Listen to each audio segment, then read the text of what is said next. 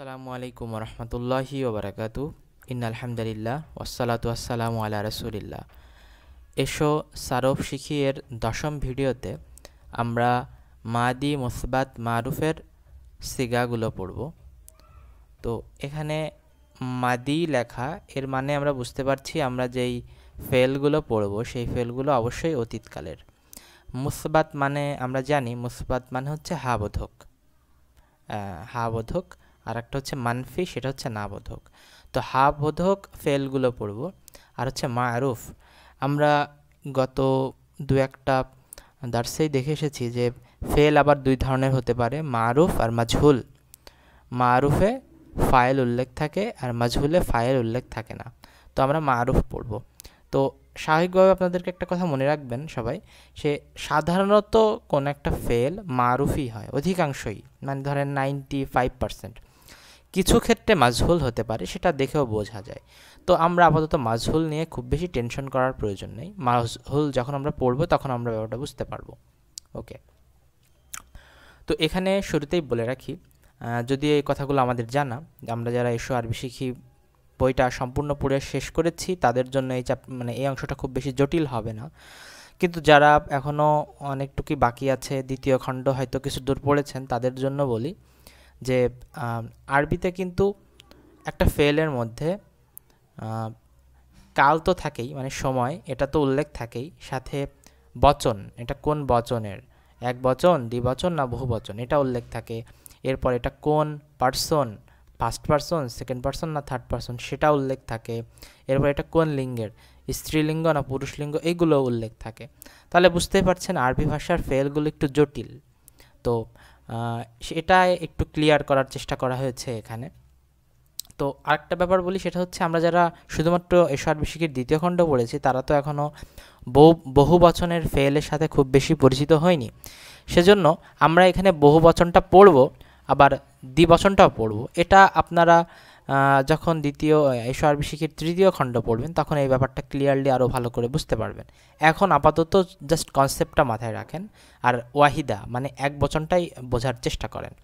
তো এটা বুঝতে পারলে আপাতত মানে মূল বিষয়টা আপনাদের কাছে ক্লিয়ার হবে, আশা করি।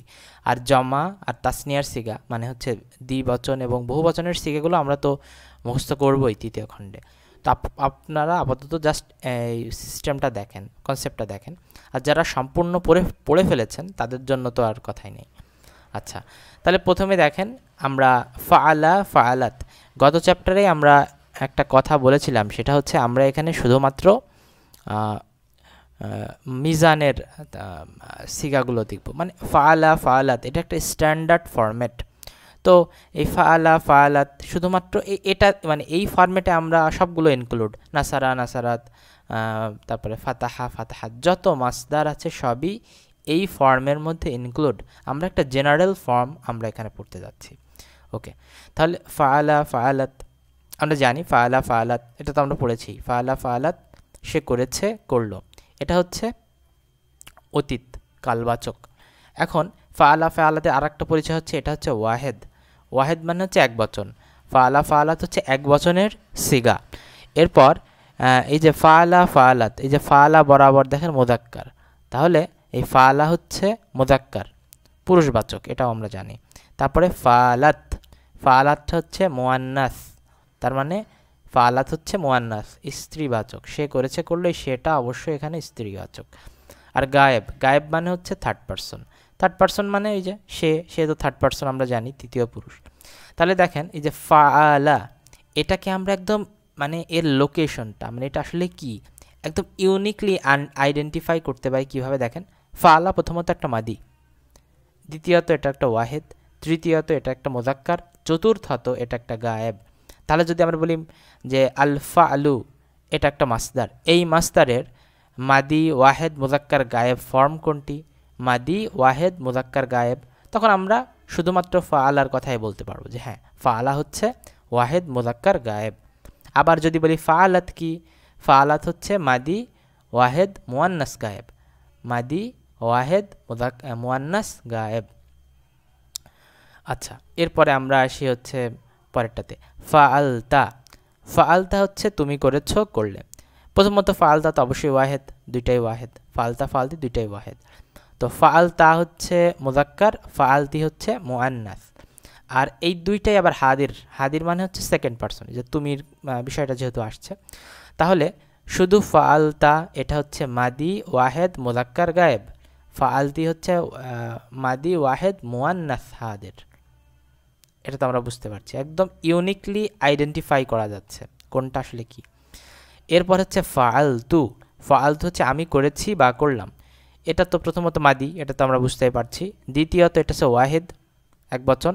এখন ফালতু আবার দুইটাই হয়। মানে আমি তো মানে আমির তো কোনো লিঙ্গভেদ নেই। আমি তো স্ত্রী হতে পারে, পুরুষও হতে পারে। এজন্য এটা মোদাক্কার হতে পারে, মোয়ান্নাসও হতে পারে। আর এটা হচ্ছে মোতাকাল্লিম। মোতাকাল্লিম মানে হচ্ছে প্রথম মানে ফার্স্ট পার্সন ফার্স্ট পার্সন তো মানে আমিকে মিন করে। তাহলে মাদির সবগুলো সিগাই কিন্তু আমরা দেখে নিলাম। আমরা কিন্তু এভাবে মুখস্থ করেছিলাম ফালা ফালাত ফালতা ফালতি ফালতু তো এটা তো জেনারেল ফর্ম এখন এর মধ্যে যদি আমরা কোনো একটা নির্দিষ্ট ফর্ম নিয়ে আসি, যেমন ধরেন নাসারা। তাহলে নাসারা কী হবে? নাসারা হচ্ছে মাদি ওয়াহেদ মুজাক্কার গায়েব। নাসারাত মাদি ওয়াহেদ মোয়ান্নাস গায়েব। নাসারতা মাদি ওয়াহেদ মুজাক্কার হাদির। নাসারতি মাদি ওয়াহেদ মোয়ান্নাস হাদির। আর নাসর তু মাদি ওয়াহেদ মুজাক্কার ওয়া মোয়ান্নাস মুতাকাল্লিম তেমনি ফাতাহা, ফাতাহাত, ফাতাহতা, ফাতাহতি, ফাতাহতু। তারপরে দরাবা দরাবাত দরাবতা, দরাবতি, দরাবতু। সামিয়া, সামিয়াত সামিতা সামিতি সামিতু সবগুলোই এই জেনারেল ফর্মের আন্ডারেই আসবে। এটা তো গেল ওয়াহিদ। ওয়াহিদ মানে হচ্ছে এক বচন। এবার আমরা বহু বচনেরটা দেখব। ওকে।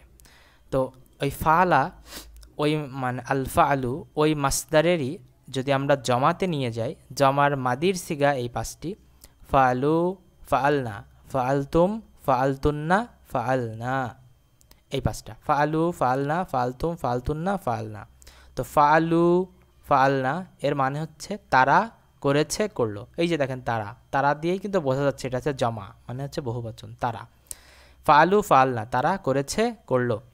এখন এই তারার ফালু বললে এই তারাটা মুজাক্কার হবে। ফালু বললে এই তারাটা মুজাক্কার। আর ফাল না বললে এই তারাটা মোয়ান্নাস। ফাল না বললে এই তারাটা মোয়ান্নাস। আর যেহেতু তারা বলছে, তাহলে এটা হচ্ছে গায়েব। আর গায়েব মানে তো আমরা জানি থার্ড পারসন তাহলে ফালু ফাল না। এটা হচ্ছে মাদি, জমা, মুজাক্কার, গায়েব। ফাল না হচ্ছে মাদি, জমা, মোয়ান্নাস, গায়েব। ওকে এবার সেকেন্ড পারসনে আসি। ফালতুম ফালতুন্না ফালতুম ফালতুন্না। ফালতুম ফালতুন্না মানে হচ্ছে তোমরা করেছ করলে। ফালতুম হচ্ছে, এই দুইটাই জমা। ফালতুম হচ্ছে মোজাক্কার ফালতুম হচ্ছে মোজাক্কার আর ফালতুন্না হচ্ছে মোয়ান্নাস ফালতুন্না মোয়ান্নাস আর দুইটাই হচ্ছে হাদির। তাহলে ফালতুম হচ্ছে মাদি, জমা মোজাক্কার হাদির। আর ফালতুন্না হচ্ছে জমা মাদি, জমা মোয়ান্নাস হাদির। ওকে। এবার আসি ফার্স্ট পার্সনে ফাল না ফাল না মানে আমি করেছি, করলাম। সরি আমরা আমরা করেছি, করলাম। ফাল না আমরা করেছি, করলাম। তো আমরা তো কোনো লিঙ্গভেদ নেই, এটা মোজাক্কার মোয়ান্নাস দুইটাই হতে পারে। আর আমরা তো জমা বোঝাই যাচ্ছে, আর এটা হচ্ছে ফার্স্ট পার্সন মোতাকাল্লিম তাহলে ফাল না হচ্ছে জমা মোজাক্কার ও মোয়ান্নাস মোতাকাল্লিম। এটা গেল জমা। তো এটাতে আমাদের সব ফর্মগুলো চলে আসবে। ফাতাহু, ফাতাহনা, ফাতাহতুম, ফাতাহতুন্না, ফাতাহনা। নাসারু, নাসারনা, নাসারতুম, নাসারতুন্না, নাসারনা। মানে যত মাসদার আছে, সব মাস্তারের ফেলগুলোই এর ভেতরে মানে এই জেনারেল ফর্মে ইনক্লুড হয়ে যাবে। আচ্ছা এবার আমরা দেখব তাসনিয়া। তাসনিয়া মানে হচ্ছে দ্বিবচন। দ্বিবচনের মাদির সিগাগুলো ফালা, ফালাতা। ফালা ফালাতা। ফালা, ফালাতা। তারা দুজন। এই তারা বলতে দুজন মিন করছে। দুজন করেছে করল। ফালা ফালাতা। তাহলে এটা এটা তো তাসনিয়া বোঝাই যাচ্ছে, দুজন। তাহলে ফালা হচ্ছে মোদাক্কার, ফালাতা হচ্ছে মোয়ান্নাস।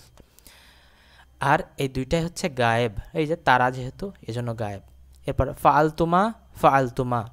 ফালতুমা ফালতুমা, এটা একদম সেম কোনো মানে এর কোনো মানে কোনো পরিবর্তন নেই। ফালতুমা বলতে স্ত্রীবাচক তোমরা দুজন করেছ করলেও মিন করবে, আবার পুরুষবাচকটাও মিন করবে। একদম সেম ফালতুমা ফালতুমা তোমরা দুজন করেছ করলে। এটা তো তাসনিয়া বোঝাই যাচ্ছে। আর এটাও মোজাক্কার এটা মোজাক্কার মোয়ান্নাস বোথ, একই সেম আর এটা হচ্ছে হাদির, কারণ তোমরা এখানে আছে। এরপর হচ্ছে ফাল না ফাল না আমরা দুজন করেছি, করলাম। আমরা। আমরা মানে হচ্ছে মোতাকাল্লিম, আর এটা তাসনিয়া। আর এটাও সেম স্ত্রীবাচক, পুরুষবাচকের ক্ষেত্রে একই। ফাল না এবার একটা জিনিস আপনারা খেয়াল করেন, দেখেন এই যে জমার মোতাকাল্লিম আর তাসনিয়ার মোতাকাল্লিম সেম ফালনা ফালনা ফালনা ফালনা এখন একটা কোশ্চেন হতে পারে, যদিও এই কোশ্চেনটা সরফের আলোচনায় খুব বেশি প্রাসঙ্গিক না। সেটা হচ্ছে যে আমরা ধরেন কোনো একটা বাক্যে ফাল না এই ফেলটি দেখলাম। তাহলে আমরা কীভাবে বুঝব যে এটা আসলে সকলকে মিন করছে না মাত্র দুজনকে? মানে এটা জমা না তাসনিয়া? এটা বোঝা যাবে আসলে মানে আমরা ওই বাক্যের পূর্ব পর এটা দেখলে আমরা আশা করি বুঝতে পারব। যদি অনেক সময় দুজনকে সম্পর্কে বলা হচ্ছে, দুজনকে নিয়ে কোনো একটা ঘটনা উল্লেখ করা হচ্ছে, তখন আমরা বুঝে নেব যে সেটা হচ্ছে আসলে তাসনিয়া হবে। আর যদি অনেক সম্পর্কে বলা হয়, তাহলে সেটা জমা হবে। তো এই হচ্ছে আমাদের আজকের পাঠ। আমরা বেশ গুরুত্বপূর্ণ একটা জিনিস দেখলাম। এটা খুবই গুরুত্বপূর্ণ, অবশ্যই খুবই গুরুত্বপূর্ণ।